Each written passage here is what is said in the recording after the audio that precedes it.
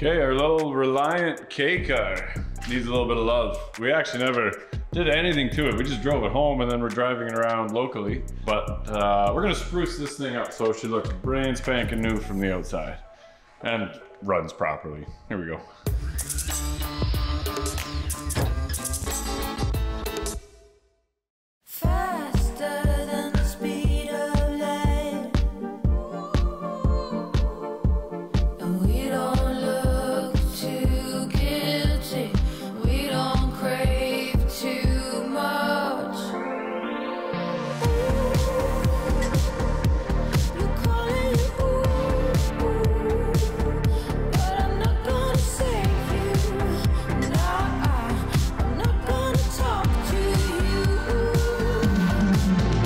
One owner car, so it's sat in an underground garage for years. The one thing Dodge has never done is build a mid-engine supercar. Hemi in the back seat, rear wheel drive, do like a wheelie machine. 25 mile an hour is tops for this. So the next hour will tell us whether it can make the 14 hour drive home or not. Only a matter of time until we got her back in the shop to get some goodies done to her. All right, I'm gonna paint the trim of the K car. Uh, switched out to LED bulbs around the whole car. We have to figure out what the heck is inside this trunk lid. Holy moly. Oh, well, look at how tight that fit is. It's a thing of beauty. Okay, so to start off, we've got plugs, ignition module, or I don't know what this is. I just ordered everything I could for a 2.6 uh, Mitsubishi K-car engine. What's happening is when you're driving, sometimes it'll just like, you could just barely keep it running. And you can move, you can't shift, top speed's like 20, and then you shut it off, and then it works again. So makes me think that it's like something like this, where sometimes it works, sometimes it doesn't, maybe bad connection. So if you're experiencing the same thing with your K car, I know you're already tuned out of this video. The funny thing is, because there were so many of these, and they were so cheap, everybody drove them and drove them into the ground and uh, crushed them all. There's so many of them, but there's so few of them left. There's diehards out there, and there's um, you got rare models like a manual turbo minivan, um, and then the wood paneling is pretty rare too. Now we bought this because it was reasonably priced in our area. Um, Aaron's kind of a nerd. and he likes these cars. Nerd. And actually, this car gets just as many looks as the GTO almost. What's funny about this is that these are actually starting to become more and more valuable because everybody hated them so much that they crushed them all. So uh, we were going to put an engine in the back. More than likely, we still will at some point. Uh, but it runs good enough for us to drive around town and uh, get laughed at by a certain amount of people. Get um, get cat calls from other people. Keep this on the road and just drive it until we get all the parts to put a Hemi in the rear end. Uh, keep a dual engine and just kind of a mockery of a drag car, but still the plans we have for that are pretty expensive. So we're just gonna drive it as is for now, but we still wanna keep the outside original looking. So we're gonna do a nice job cleaning that up. This maintenance stuff is just uh, nothing to it. Take the old parts off, put the new parts in, and then you're done. Um, but we'll get into uh, sprucing up the wood grain, redoing some of the stickers, polishing the paint maybe a little bit, see if we can get a bit of a shine out of it and then uh, calling it good. Here we go. Well, you can see that, but that would definitely be part of the problem. Those don't look good at all. Problem is we couldn't get a rotor for some reason. I don't know why. Clean that up. Should be okay. That's good enough. Nice. All right, let's give that a go. Look at this minty interior. Oh.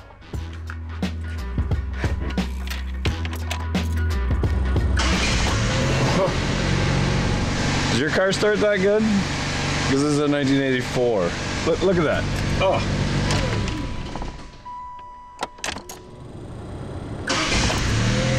Huh. Wow. Don't make them like they used to. Okay, so now this exhaust pipe is leaking. Somebody put like tin around it and tried to stop that, but that did not fix it. Can't find that pipe anywhere.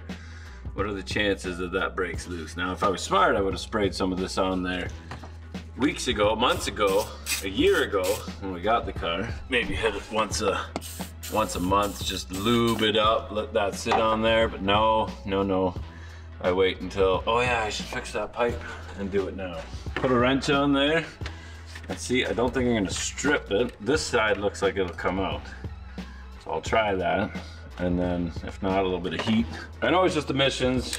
I could probably just plug, weld that pipe shut, but we'll try anyway. Who knows? Maybe just keeping this original another 20 years, it'll, it'll be as hot of an item as like an old Ferrari or something, sell for 60 million dollars. But instead of taking the nut off there, I'll just take the valve off, the hose off the bottom. Oh, well, there's the problem. Yeah, that would do it. You see that? That is not supposed to be in. Supposed to be connected. I don't think I can fix it.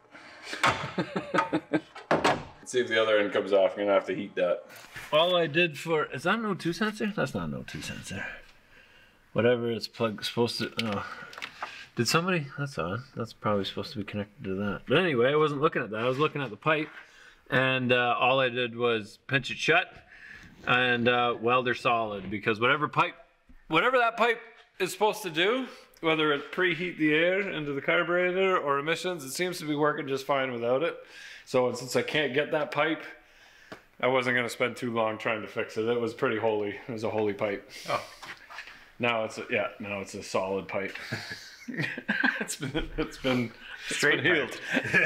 now it's a straight pipe. So yes, we still have our fuel pump that is rigged up with a wire that I forget what we connected it to in the parking lot with one of the Holley guys way back, and we said that that was going to be temporary, but we all knew that was a lie. Semi-temporary.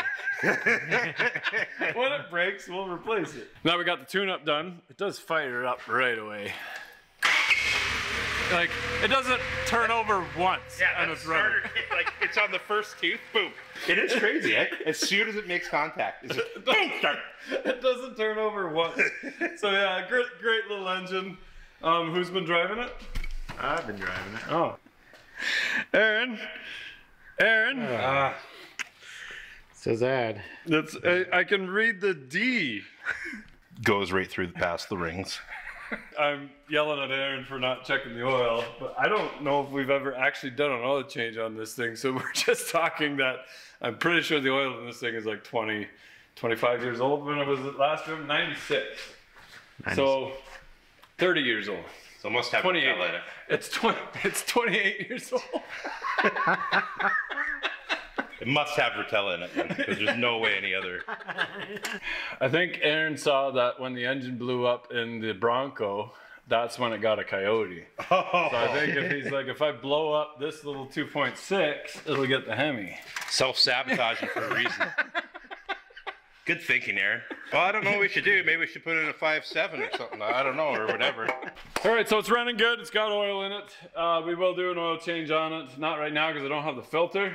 I don't know why I didn't grab an engine oil filter, but I am heading away for a couple weeks. So Andy's going to take over this girl. We're gonna spruce it up a little bit. Whatever we do to the car, we're not gonna change the outside. We love the the paneling, the hubcaps, the 80s vintage look. So we're just gonna keep it together and uh, keep driving it because there's nothing wrong with it. And it actually gets quite a bit of attention, doesn't it? It gets a ton of attention. I've never driven. I'm going to say this is probably the only car that I'll be driving along. My cell phone rings. I take a look. I'm like, oh, I haven't talked to them in a while. Hey, what's happening, man? Hey, are you driving a uh, like a station wagon, like a Woody station wagon? I've probably got half a dozen of those phone calls in the last man, probably three months, and they want to know the deal with it. What's is it for sale? The eventual plans are just putting a Hemi in the back, doing a drag and drive event with it, but the only legal car to do so. So you go to the track, you run on the back engine, stick the front in neutral, do your quarter mile pass, and then disconnect the back, put your road tires back on again, and drive from track to track on the 2.6. That would be awesome, and it would, but all I'm seeing is like, that's like a thousand hours and probably 40 grand. Let's just drive it as it is. All right, so the K car is going to get a little bit of love. We're going to go over top that veneer, the mahogany, that nice mahogany that's around the outside there. It's kind of starting to chip, so we're going to kind of smooth that out. No, I'm just kidding. We're going to get that vinyl wrap. Aaron's going to paint up all the trim along the side there, put it back to its original color. That's kind of faded, sun faded. All right, I'm gonna paint the trim of the K car. And uh, I'm just taping it all off right now. I got this uh, Krylon Fusion all-in-one. This one is a uh, matte river rock color. And actually, I tested it out and it was pretty well indistinguishably the same as this lighter tone here. Um, spray painting, I'm not going to get any texture on this, but there's texture built into this. This is kind of like a resin filament and it's got some texture built into it. So I'm hoping that that'll still show through a little bit. Um, there's not really a way that I can think to uh, get that texture to really pop out. But uh, this is the resin color. A a lot of this is just completely gone. So we're gonna touch it up. This stuff really adheres well for like a what's gonna be outside all the time. It's kind of hard to pick a good paint, but I'm just going to uh, use some acetone and uh, kind of clean this up a little bit, and then spray it after we uh, cover the car with some some plastic, and uh, it should be good.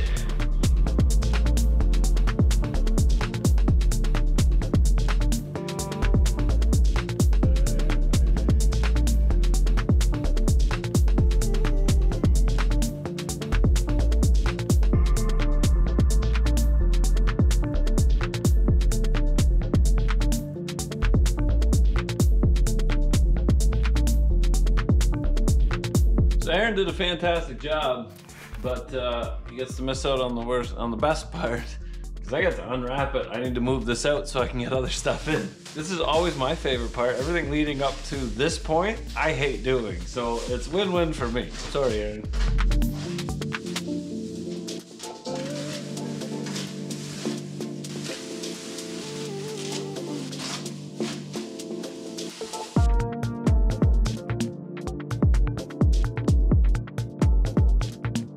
So we're we're gonna rewrap the wood on this car, but uh, just a little tip: if you are going to paint something like this, don't use this big wide tape because you peel off most of the wrap underneath. What you want to do is a nice thin, just the thin tape just around the edges, and then paper or plastic over top. This was supposed to be quick unwrap. This is the longest it's ever taken me to unwrap a car. It's not as much fun as I thought it was gonna be. Here we go.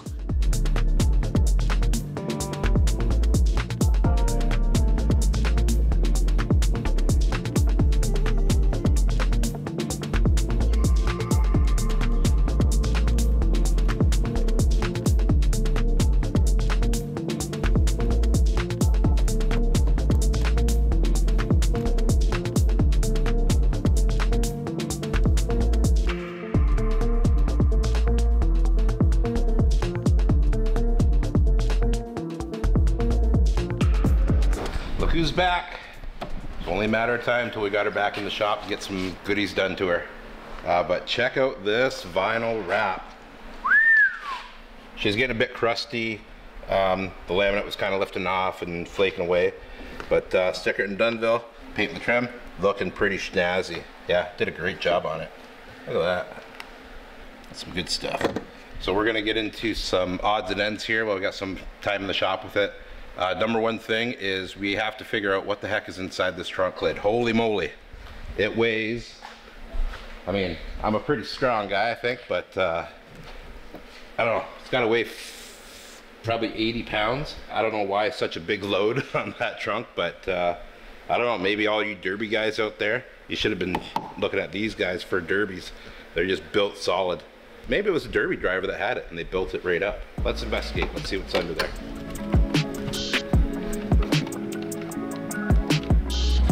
Like working on uh, those.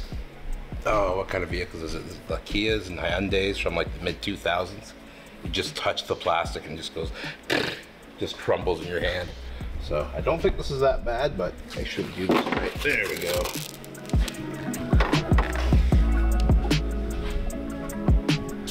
There's some weird insulation from the 1980s, I guess. It's not that heavy. Yeah, that's not heavy, but we'll get rid of that just in case it's something yucky. What is it? It's under there. What do you hide? Uh, feel how heavy this is, Vince. We got a couple bets going on. What could be that? Okay. Steel, steel. You think that's all it is? we were thinking it might have been, might have something in it. You think that's just real thick steel? It's pretty heavy. That's the real deal? Combination of glass and stuff too. Yeah. I thought maybe it had like a just a giant uh, motor on there or something. the giant wiper motor. Just thick steel and heavy glass. I guess when you're gonna have your kids sitting in the back, you kind of you want it to be safe, right? safe, yeah. Yeah. Mystery solved.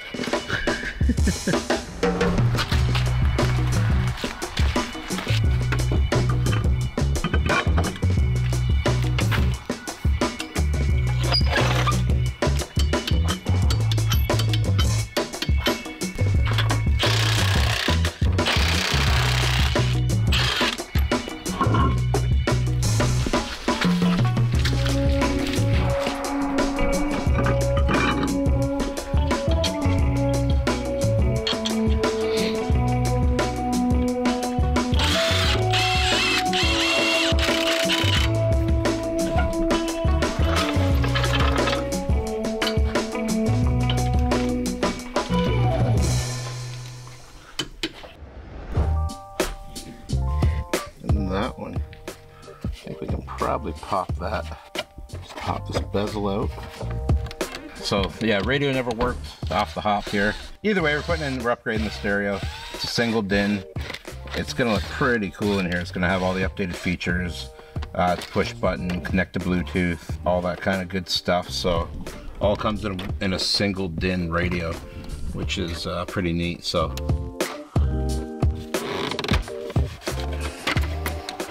Is that it? I was very nervous there. Yeah. it's like it's in perfect condition. yeah. Should help the cruising around. But yeah, this oh man, this this is a long piece of brittle plastic. We're talking man 40 40 year old plastic. So ooh, that was nerve wracking trying to get that out without cracking it. Let's get these screws out. See if we can pull that radio.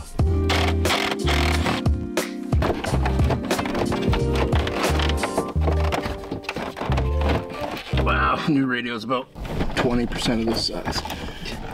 Operation Radio Extraction. Save that just in case one day someone wants one of those. Here's that single din radio. It kind of fits in that uh, space of just one single height radio rather than the double din. Okay, so that fits right in there, bolts up on either side. So we're gonna be looking for that from our faceplate faceplate kit. Have a mount there and there, and then that's what'll keep it steady. Then we put the dash back on. Uh, we'll have the links to this radio and uh, this install kit uh, that we got. I think we got both these off of Amazon. So yeah, check them out. Um, but that's what we're gonna be using here.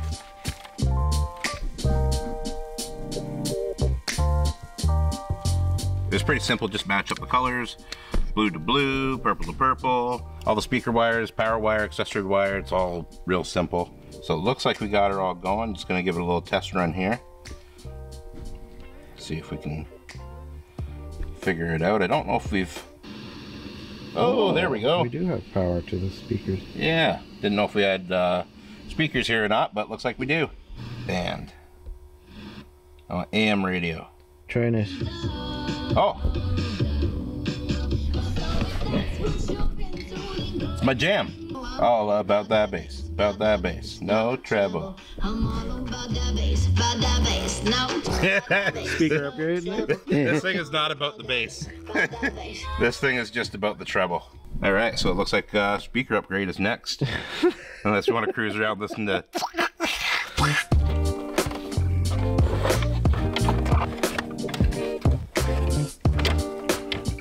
That looks like a pretty good fit. There we go. Nice. Yeah.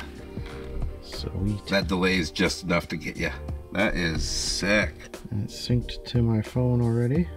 There we go. It's, it's, it sees it now. Synced.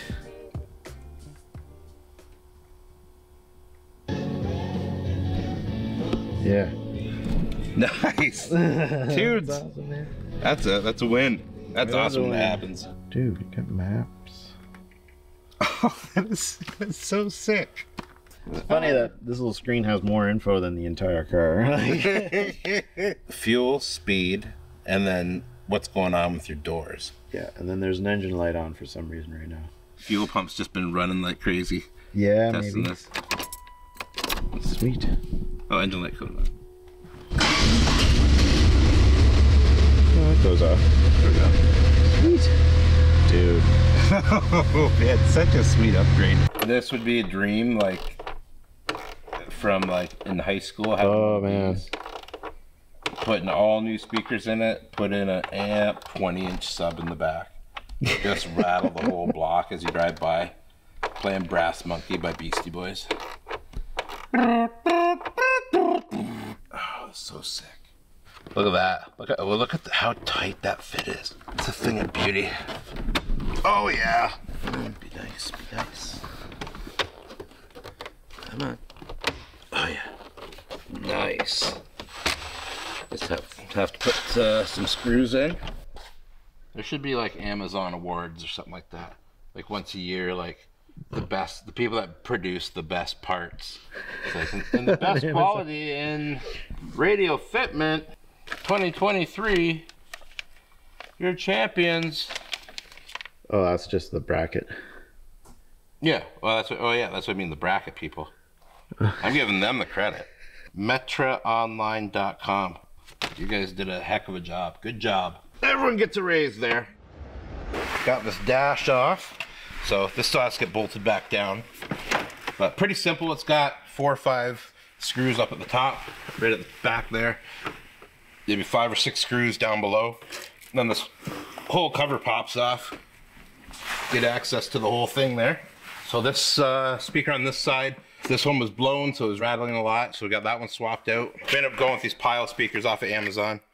Uh, these three and a half inch speakers. They put out great sound. Uh, seem to be more of a mid-range sound that we're looking for rather than these other ones. I did hook them up, really tingy, really, really powerful highs. Not really what we need in this car. Um, we don't have door speakers here, so those are basically our, our main speakers in the front. We don't want it just highs, we want mids and highs to come out of that. So that was a better fit for what we need it for. Um, so replace those both sides while I was digging around. Notice that this is something that should have a speaker in it maybe. Um, so I did splice these back, hooked it up to a speaker. Um, no bueno, no good. There's no volume going to that. So I don't know if it's not hooked up uh, to the back of the deck. I'm gonna have to take a look, see if we can hook up another speaker. If not, then might have to just toss a jumper over from from one of these guys at some point. We checked out these 6x9s in the back. They're still working okay. Bit of a pain pain in the butt to get to. We have to take out that whole panel along the side just to be able to unbolt those 6x9s. So we're just leaving those ones stock there for now. Not really necessary to swap them out. We're not looking for high performance audio or anything like that. Just something that doesn't rattle and crack when you're driving along. Did a full cleanup on it, shampoo the carpet, steam cleaned it all. Now, my wife bought this. No, I think I bought it for her. I think it was a couple Christmases ago, probably about six or seven Christmases ago.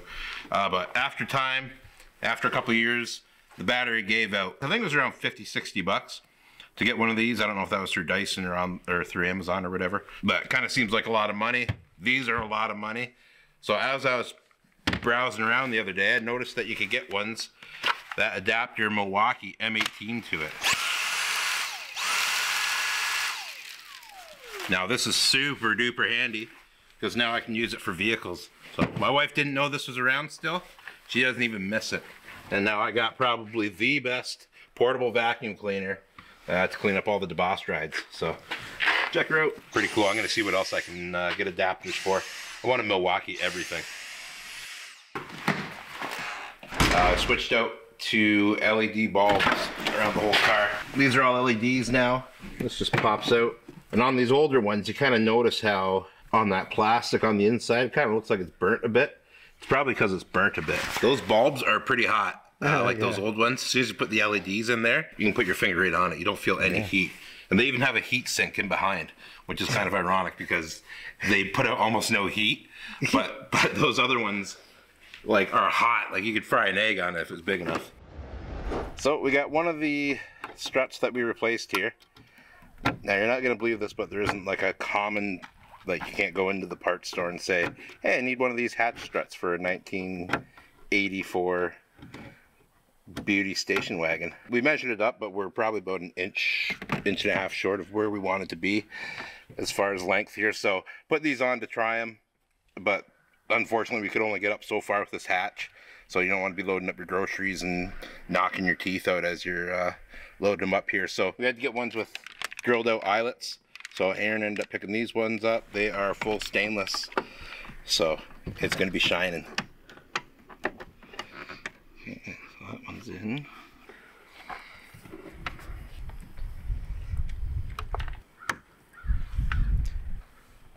There we go. Holding up with one pinky. Come on, fit in there. Oh yes. Yeah. Oh, Does it open? Does it open? Oh. So we just need one more. yeah. So all the rest of you guys that have these uh, K-car station wagons, I know there's a lot of us out there, probably hundreds, maybe a hundred. Either way, these are the parts for your car. You're gonna want this one. Links down in the description. There's gonna be one guy commenting going, "Yeah, we no, we already knew that. Yeah, it's on the forums." There we go. Yeah, you're gonna have to be careful unlocking it. It's just gonna go like a catapult. Sweet. All right, let's see. See if it auto. Oh. Does it go up? Oh my. Oh, this is way too exciting. Oh yeah. It's never been that high up. it doesn't know what to do. get other K car owners. How'd you get the door to go so high? Yeah. what kind of mods did you have to do? yeah, it's too bad we threw out all that mercury out of the hatch. Hey, Rich, you gotta check this out. Oh, You remember this before? I did. Check this out. Wow. And I, it stopped here before, didn't it? Yeah, you had to like, you had to load up your stuff like this. And hold it on your back. But honestly, it weighs 800 pounds. What was it? Uh, you're not gonna believe this, but it was all 100% Colombian steel. Steel. It was all steel. I even had Vince check it out. There's nothing in there? Nothing in there. No, I swear the thing weighed 800 pounds. it, oh do- well. it does. I These- thought it was sagging on the back because of the weight of the hatch. Probably triple pane glass and then. bulletproof? yeah, maybe, maybe this is a Pope Mobile one. we'll find out that it was actually a Pope Mobile back in 1986. What's going on with the hubcaps? This this one's a touchy subject. Yeah. So, what you there's a difference between what you want and what you actually get. Is that a zip tie? That's a zip tie. so we're try we tried everything we could. So Aaron got these. It's uh, from a 1965 Dodge Monaco, I believe. So these are super fancy. Like they're well You can built. stick it on there if you want. Yeah, th- they'll clip on. They'll get on there, but so it's a little tight. But as soon as you hit a bump, done. So now you got you got a pizza cutter rolling down the road behind, beside you. So that's not ideal. We tried everything we could. So these were actually from a five bolt car. So what we did, we trimmed these down. Uh, we did a lot of modifications. It's all bad. it's all bad. we, we, we trimmed these down. How'd you balance it? it weighs like five pounds. with the zip ties. That, that's a stabilizer. And all the energy goes right to the middle of this cone. so these nice rally, these nice rally caps would have been great. They But- look great. We can't do anything to stick these on. Just Okay. these can't spring out far enough. We we've tried different methods. We I, tried. I, I think with this lip, if we took the wheels off and we cut a lip into the rim, just like a little bit, and this limb would, this lip would grab that, but they're not gonna fit on my lathe. And, uh, we already bought new ones. We got new ones, yeah. We got a little bit too much time invested into these hubcaps. By a little bit too. Whoa! Those are the lightest hubcaps. Someone must have just 3D printed it and sent it over to us. with like with like the single strand of plastic. But this is what we got. So it's what you want versus what you get. So we wanted those, but this is what we get because that's what fits on. Okay. But I'm not going to badmouth these too much. These are tough to come across. Four bolt, 14 inch hubcaps. A lot of people aren't going to believe this. That's around my age and older. Uh, because 14s were on everything back in the day. Every Civic, every Cavalier, Cavalier, and Sun, anything. Sunbird. Yep, every small four bolt. There used to be tons available. Now the minimum you can get on, or I think the minimum size on a on a little cheap car is probably like an 18 inch rim.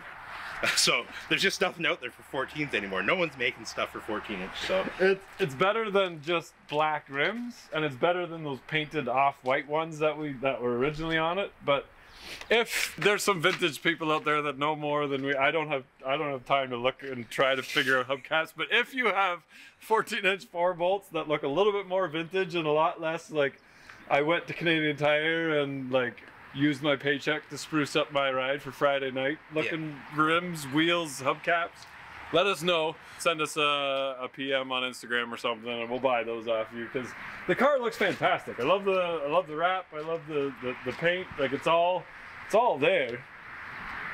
I could maybe drive it around like as it's getting dark. but the hubcaps, yeah, we need something better. like this thing gets, uh, I'm gonna, this thing gets nearly as much attention. Not as much as the 55, not as much joy come to people at 55, but no one calls me up and says, hey, was that you in the 55? Usually I just get waves on the road. This one, people actually call me up and say, hey, what, was that you driving a station wagon? It's like, what? yeah, it was. my, my girls love this car. They, they love the way it smells. They love the way it rides. Like they love going in the back. Both doors open now. Yeah. Yeah, but but my wife hates it. My wife just absolutely hates this car. He doesn't understand. She doesn't understand. Um, I don't know if you've seen these yet, but all Oh, upgraded yeah. LED lights all throughout. Down there, up there. Uh, we got the headliner. Oh, it's not touching my my bald head, rubbing me as we go anymore. Well, in certain spots. Certain spots. It depends where you looks like sit. the it looks like the the very poofy couches. Like a pin Blanket? cushion kind of. yeah, like a pin cushion. It looks like a topographical map. So It's like 3D Risk. a 3D upside down Risk board. they're good attempt. Six out of ten. Six out of ten. Three best. Three. We got to do this at night then. That's awesome. and and it's and it's wet weather, so we're gonna be using this mostly on hotter days as well. So once it's hotter, that headliner's gonna stick up a bit better. what world do you live in?